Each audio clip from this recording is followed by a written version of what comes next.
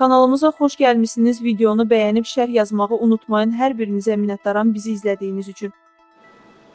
Ukrayna Erməniləri İttifaqının icraçı direktoru Hovakim Arturyanın Ermənistana silah göndərilməsini etiraf etməsi çox ciddi suallar yaradır. Arturyan niyə belə bir gizli əməliyyatı etiraf etməli, bunu yaymalıdır? Faktiki olaraq bu cinayət əməlidir.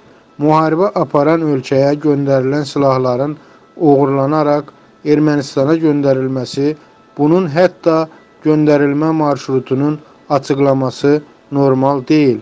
Arturyan bu açıqlamasının araşdırmalara və nəticədə ciddi qalmaqala səbəb olacağını bilməmiş deyil. Bəs bu etiraf haradan yaranır? Qərb ölkələri göndərdikləri silahlara nəzarət edəcəyini elan etmişdi. Belə çıxır ki, Qərb göndərdiyi silahlara nəzarət edə bilmir və yaxud bu prosesə göz yumur. Milli Az Axaraza istinadən bildirir ki, Arturyan silahlar deyəndə məxsusi olaraq pilotsuz uçuş aparatlarından danışır və nədənsə bu pilotsuz aparatları qabardır. Bəs bunun səbəbi nədir? Bu suallara cavab axtarmaq müxtəlif ehtimallara yol açır. Birinci ehtimal Qərb ölkələri Ukraynaya göndərilən silahların, xüsusilə pilotsuz uçuş aparatların Ermənistana çatdırılmasında maraqlıdırlar. Bu prosesə Ukraynanın bəzi qüvvələri də cəlb edilib.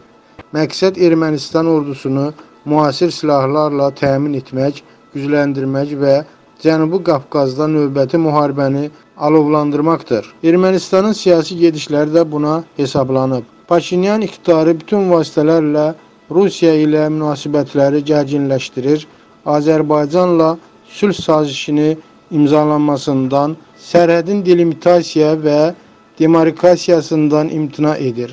Qərbin küllü miqdarda kreditləri hesabına orduya vəsaiti artırır, Hindistanda daxil olmaqla bir sıra ölkələrdən legal, bəzi ölkələrdən isə qeyri-legal silahlar alır. Fransada daxil olmaqla Ermənistana qərb silahlarının qeyri-legal yollarla daxil olduğunu ehtimal etmək üçün kifayət qədər əsaslar var.